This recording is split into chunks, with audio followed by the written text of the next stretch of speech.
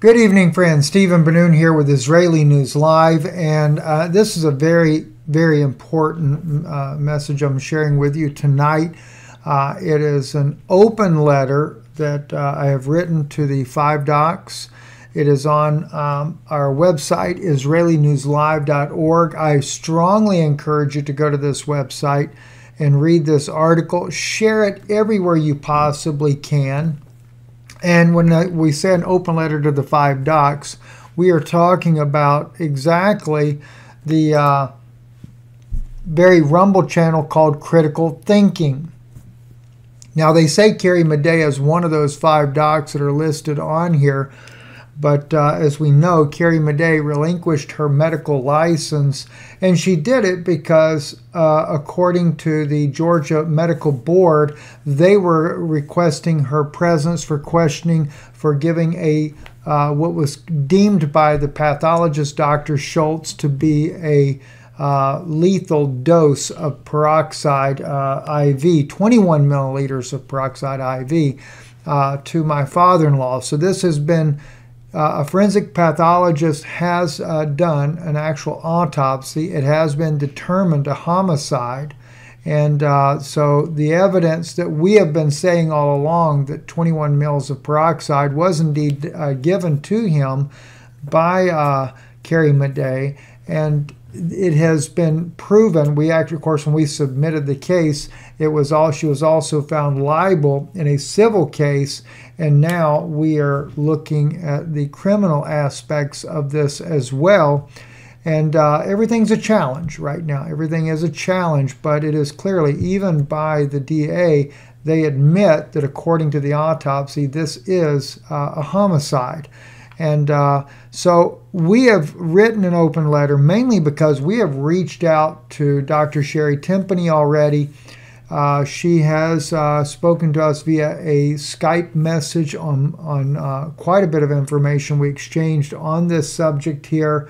But these doctors continued to promote her. And sadly, uh, the truth of what really happened is not being discussed. My father in law, you see pictured here, if you click on this letter here, we have hyperlinked a lot of information in here for you to be able to also follow up.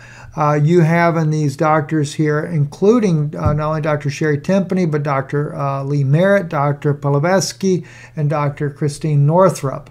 Uh, Dr. Christine Northrup, as we mentioned in this article right here, we actually show the video where we preserved it ourselves, where Carrie Madej actually comes in two months before coming to our house.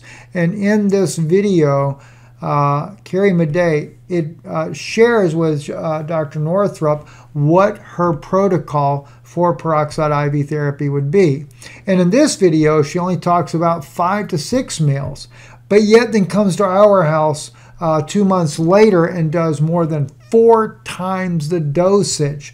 Reminds me of Sherry Tenpenny uh, when she wrote me uh, about this in Skype, and she said, you know, there's a saying, the poison is the dose, uh, the poison is in the dosage, and she said 21 cc's of peroxide, 3% peroxide, is a poison. That was Sherry Tenpenny's very remarks about Carrie's uh, protocol. Of course, you know, there is some that are, you know, Carrie goes around trying to tell everybody that no, it's all false, it's just false propaganda against her, but yet a court of law has already found her uh, responsible. A pathologist has already determined that what was given to him was lethal and uh, and the evidence was definitely present in a in a uh, forensic autopsy. Uh, we have more information in this article as well that you can just click and go to. Also, like falsely claiming the 911 responders demanding her COVID status. Uh, my wife actually went there and met the the head of that department and the very ladies that did the uh, the call itself. Christian women that were just very uh, deeply saddened by the fact that they were being accused of asking her for something that they never did. We got a copy of the transcript as well. Nowhere in there did they ever ask Carrie that. So we're finding over and over and over, even meeting with her boyfriend that was the pilot of the crash, he also says, it's just not true what she's saying. Uh, he doesn't understand why she went that route. So we have two video links there. You can click on, go right there, and you can find out more information. But listen, the actions that Carrie Madej did, someone that we had considered to be a friend, that, that not only the, that she you know, her actions clearly, according to the pathologist, contributed to the death of my father in law, but also injured my wife, has caused enormous pain and suffering for our family. Uh, here we are two years later, and my wife, my, my children, no one has gotten rest from the, the, the trauma that has been associated with this uh, and then watching him die in such agony, not just the intravenous peroxide, but also a nebulization formula that one doctor that I know that actually did use nebulizing peroxide said that her formula was 80 times stronger than what he used himself. 80 times. Uh, and he is both an MD and a naturopathic doctor out of Orlando, Florida, that stated that to me when he found out. In fact, when he first heard about this, uh, I just the nebulization formula that was used, he said it's a death blow to your father-in-law. He said, Steve, I know, you know, of course, and he was right. He knew my father-in-law very well, very personally. He really had a love for him and uh, and it was a tragedy for him to hear that this had been done to him. Uh, so we want you to to read this article. Uh, you can leave a comment. Uh, you can also uh, you can email us at Israeli News Live at protonmail.com. We're asking for the five docs to take this seriously. We're asking you, Dr. Christiane Northrup, uh, we're asking all of these doctors that are that are part of this here. Um, you know, uh, Dr. Northrup, Dr. P- uh, and Dr. Merritt, uh, and even Dr. Tenpenny. We're asking you to again, once again, contact us. We want to discuss this matter with you. Uh, you know, we're going now. My wife is just really uh, you know, talking to the attorney and everything, uh, more than one attorney, that is, you know, she's got every right to be able to speak about these things publicly. And uh, so we are going to begin to release information. Uh, and, and there's a lot of momentum being gained on this. You'll be very surprised to learn in the not so distant future.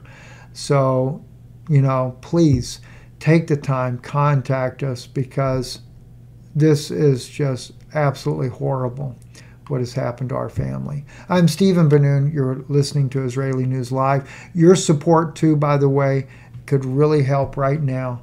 Um, you know, we've we've encountered enormous cost in this as well, uh, in trying to get this justice, get this attention brought uh, brought to, to to the public's uh, light there, and uh, you know the autopsy. Now we are dealing with some other things there. I don't, I can't really say at this time what they are, uh, but it's just more evidence, stronger evidence uh, that is being conducted as we speak right now, and it's becoming overwhelming. So please reach out to us. We, we, we appreciate you, our viewers. Also, too, the other day when I released that video that I did, there's a very big reason behind that. You're going to find out about that very soon, too, uh, why that was there. And I thank you for stepping up and answering uh, like you did uh, on this flat earth issue. We greatly appreciate that. Uh, just overwhelming response from you guys.